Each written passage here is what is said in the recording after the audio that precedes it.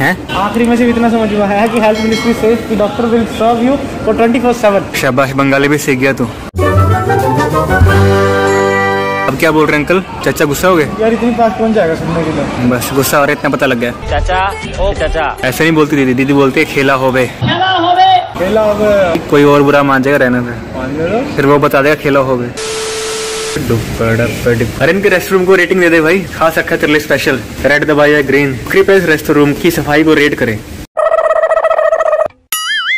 शाबाश। और सब गोबर प्रसाद? हम्म चले।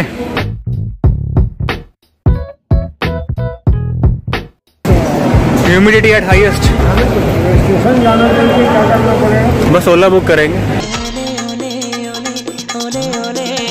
क्रिकेट वालों ने बोला डबल मास्क लगाने के लिए। एक दो दो दो लेयर नहीं नहीं मामा ज़्यादा कोरोना बच रहा। उतना ही बचाएगा। उस सफ़ेद वाले से तो ज़्यादा ही काला ही बचाएगा।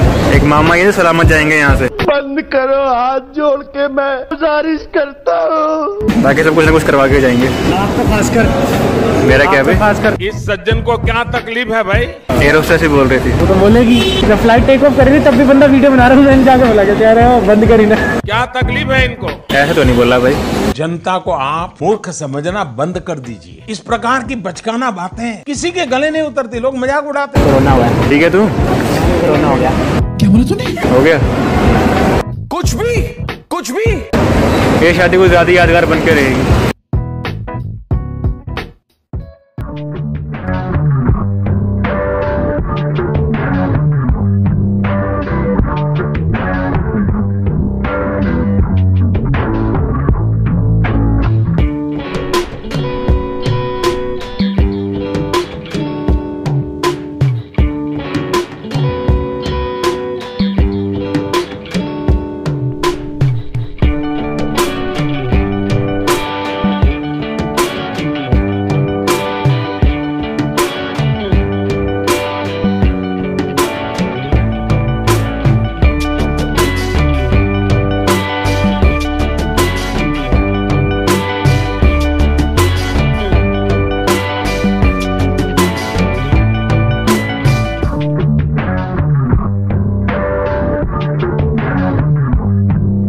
पहुँच गए तुम। मेरे पास कोई अल्फाज नहीं है मुझे माफ़ कर दे आप लोग सारे मुझे छुट्टी दे दें।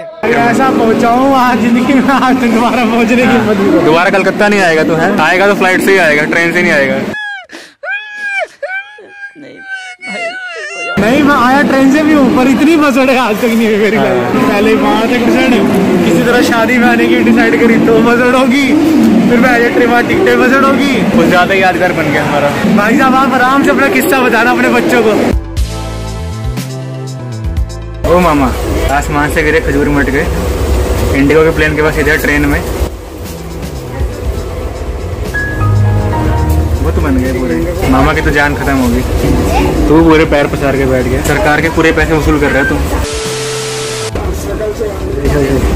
आराम से आराम से आराम से।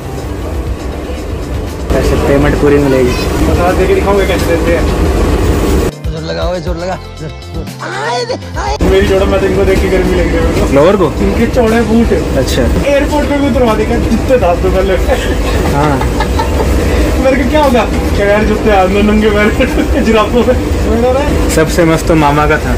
मेरे से पूछे किसका बैग है? मैं कि मेरा बैग है। कहते इधर बोर्डिंग पास निकालो। बोर्ड लेट खुले घूम रहे बोर्डिंग पास मेरा जब्त करा दिया वहाँ पे। किस्मत से मामा ने बात करते करते ऐसे ऐसे करना स्टार्ट नहीं किया।